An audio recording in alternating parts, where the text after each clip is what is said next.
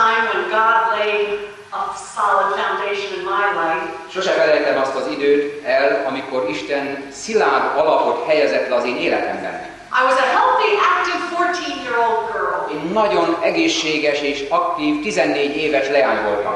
and I was asked to go away on a church weekend retreat. És akkor megkértek engem arra, hogy vegyek részt egy hétvégi gyülekezeti csendes napon. Now, I was definitely not interested in the church part. Hát el kell mondanom, hogy egyáltalán nem érdekelt nagyon a gyülekezeti része a dolognak.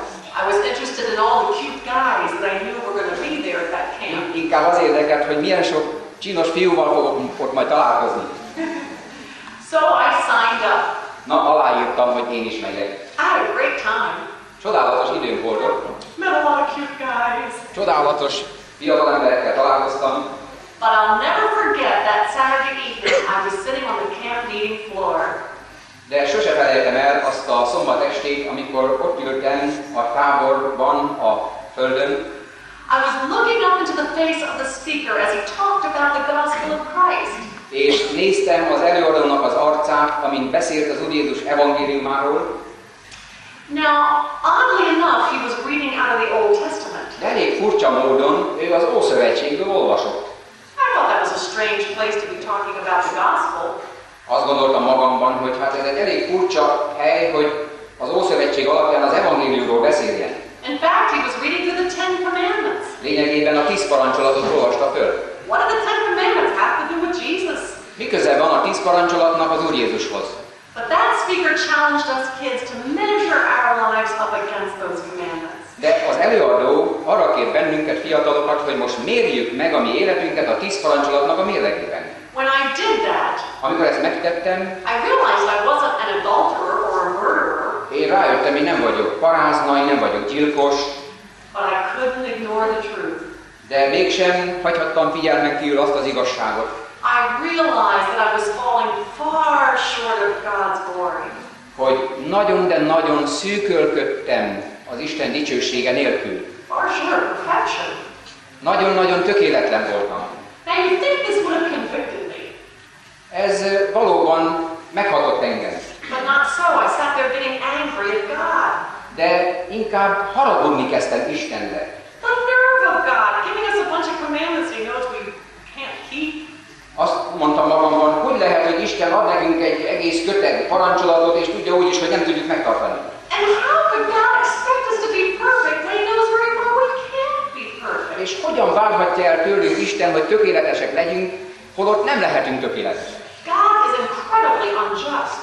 Isten hihetetlenül igazságtalan. Well, I stomped out of that meeting Na, amikor vége lett annak a összejövetelnek, and I went and I sat down on a big rock. kimentem és leültem egy nagy sziklára, And as I was sitting there, a light dawned inside my head. és amikor ott ültem csendesen, valami fény villant meg az agyamban, Because suddenly I realized that that is why Jesus had. Mert hirtelen rádöbbentem, hogy éppen ezért jött el az Úr Jézus Krisztus. He knew I couldn't live the perfect life.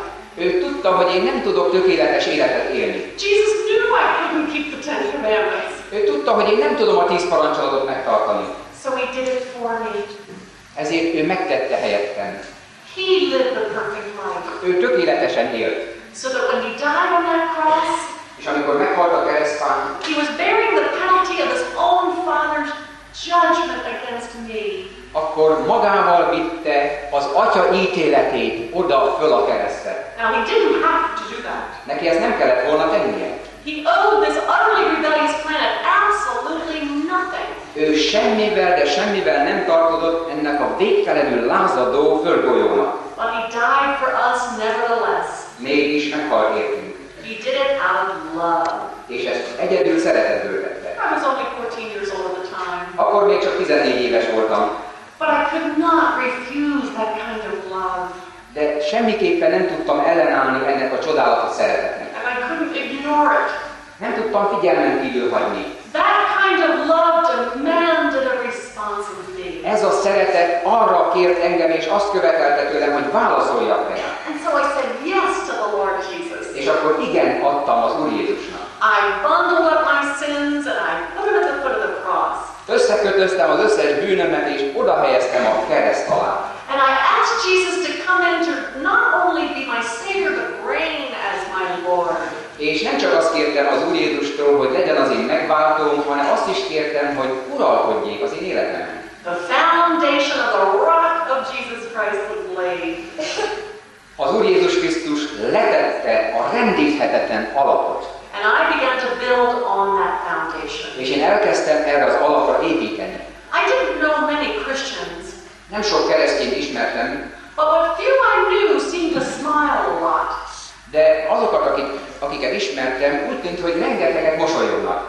So I copied their mannerisms. Én kezdtem lemásolni az ő magatartásukat. And I mimicked the way they witnessed of Jesus Christ to other people. És utánoztam azt a módszert, ahogy ők bizonyságot tettek az Úr Jézusról. I was trying to build gold, silver, and precious stones, Megpróbáltam aranyat, ezüstöt és drágaköveket építeni az alapra. but little did I realize De hamarosan rájöttem, I was using the wrong building materials. hogy nem aranyat, hanem a rossz építőanyagot használom. I didn't find that out until a month after I graduated from high school. És erre csak akkor jöttem rá, miután vizsgáztam a főiskolai tananyagból egy hónappal később. It was on a hot July day that I took a reckless dive into shallow water. És ez egy forró júliusú napon történt, amikor kockázatos módon beleugrottam egy tóba. My head hit the bottom and that snapped my head back. Hirtelen a fejem a tó aljához érkez, ért, és a fejem hátra bicsaklott. Eltört a nyakcsigolyám, és én azonnal megbénultam. Really. Nagyon, de nagyon megingott az, amit építettem. And for that matter, almost could have been wiped away right then and there. És valójában majdnem, hogy teljesen megszűnt minden. I could have drowned. El, sí, elmerülhettem volna véglegesen a vízben. I knew my sister who had gone swimming with me was nowhere around. Én tudtam, hogy az én leánytestvérem sincs ott a közelben. She was wading up into shore in the shallow parts. Ő távolabb várt leám a parton a csekély vízben. But you know what happened? De tudjátok, mi történt?